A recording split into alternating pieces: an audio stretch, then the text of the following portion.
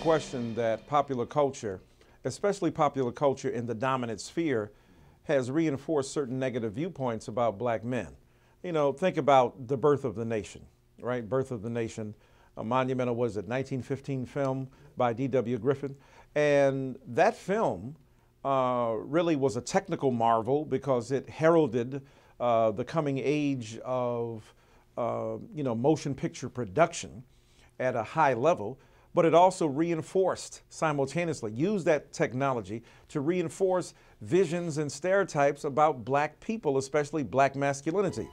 White women were the objects of black men. Black men were peripatetic phalluses with unrequited desire for their denied object, white women.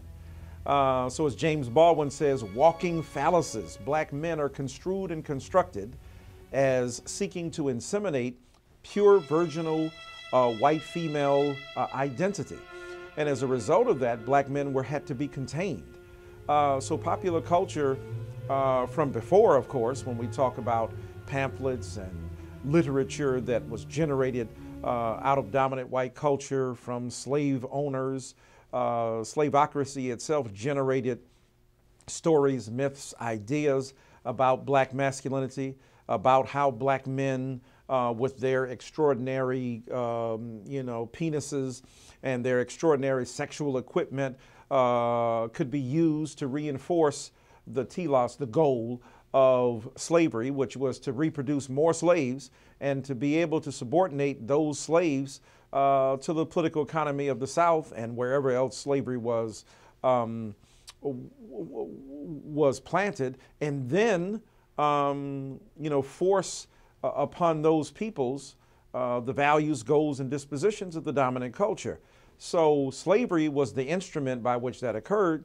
And from that time on, stories, pamphlets, social scientific treatises, if you will, uh, in their infant stages, uh, and other pseudoscientific literature was put forth and unleashed that contaminated, that colored uh, popular culture, whether newspapers or pulp fiction, uh, that reflected the demonization and stigma that were attached to black men. So, from the very beginning, as some of our finest uh, social historians have pointed out, black men are constructed as men with um, you know huge sexual appetites and the women were constructed as lascivious because they had to address and accommodate uh, the extraordinary sexual appetites of black men so these are deeply ingrained deeply entrenched ideas about black men and black women that are perpetuated in popular culture uh, that then convey what our beliefs are about how black men behave, what their moral or ethical disposition is,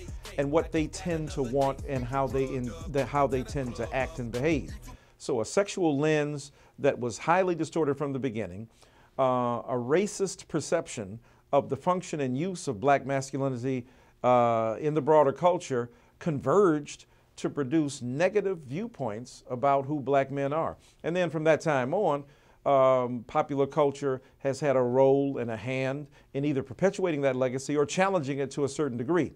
But even those elements of pop culture that challenge the dominant stereotype, um, you know, contain some contradictions and some complications. Even among African American people, where popular culture has both extended some of those stereotypes, even as it signifies on those stereotypes to complicate and challenge a narrow conception of black masculine identity.